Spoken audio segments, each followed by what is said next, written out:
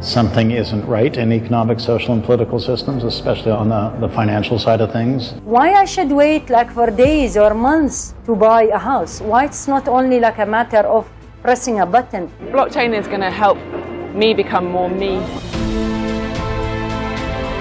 In the next decade or so, a majority of progressive large and small cities will run on blockchain technology. The world is moving to the space where most of the economic activity is limited by few. With the promise of blockchain, kind of many people argue that there is no need for trusting anymore because there is certainty. Radically decentralizes decision making. My journey to find out why some key cities around the world want to break the mold and take a step that nobody else has taken before took me on a journey to ask this key question from those who knew best.